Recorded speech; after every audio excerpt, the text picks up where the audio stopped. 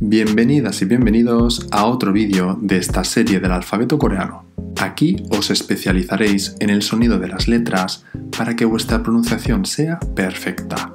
Hoy veremos la última consonante doble. Veremos su pronunciación con romanización, escritura y varios ejemplos. Así que muy atentos a las explicaciones. Pasamos a ver esta clase a través de mi cuaderno personal de coreano. Espero que vosotros hagáis lo mismo y toméis buenas notas de las lecciones del canal en vuestro cuaderno.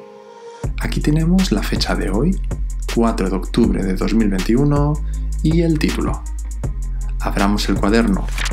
Pero antes de ver la letra, quiero comentaros que en Patreon tenéis disponible la ficha de esta letra totalmente gratuita.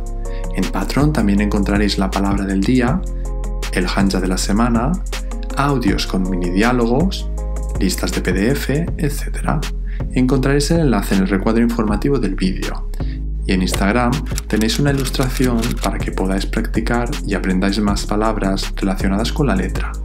Estas ilustraciones están hechas por Jamie, en coreano Yejian, quien muy amablemente me ha dado permiso para compartir sus ilustraciones con vosotros y vosotras. Os animo a visitar su Instagram y apoyarla mucho. También dejo su página web en el recuadro informativo del vídeo. Como veis, en la ilustración contiene la letra que tratamos en el vídeo y en ella aparecen varios objetos u escenas que empiezan con la misma letra. Bueno, a decir verdad no es la misma letra, es simplemente la jiut. Pero os dejo la imagen en grande, tanto en Patreon como en Instagram, para que en los comentarios me digáis las cosas que habéis descubierto. Os corregiré en el mismo comentario. Ahora sí, veamos la letra. Como veis, esta letra consta de dos J, por eso se llama Sangjiut. Sangjiut.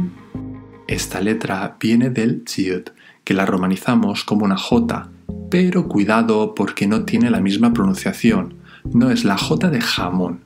Y es que la romanización viene del inglés, así que sería una J como la de los nombres James o Jordan.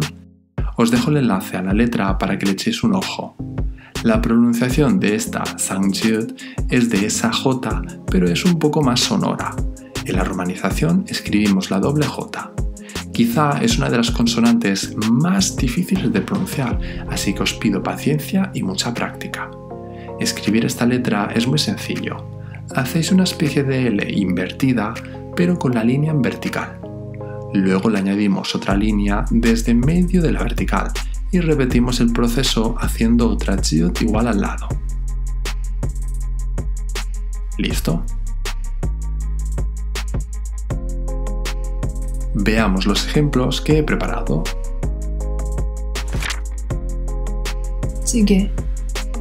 Sigue significa estofado y son los típicos con verduras, carne o pescado.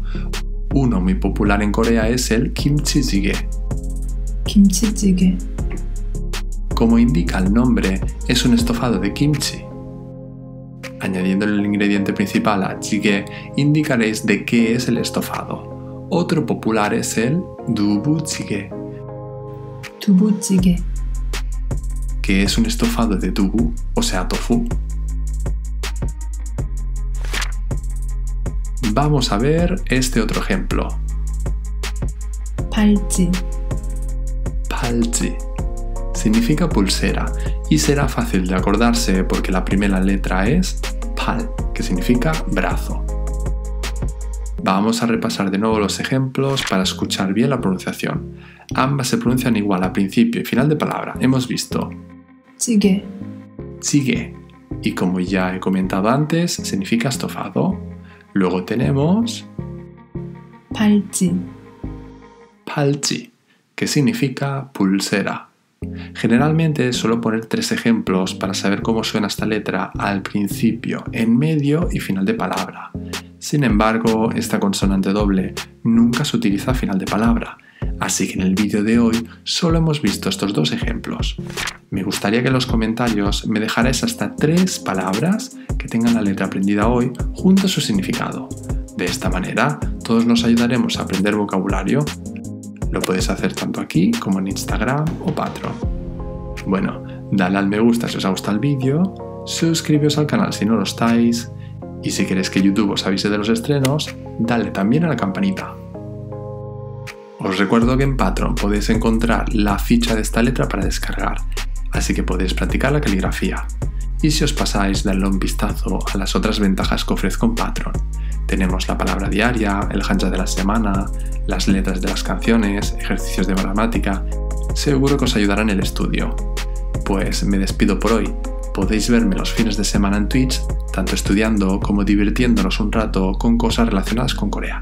Espero que os haya gustado este vídeo. Dameto bayo.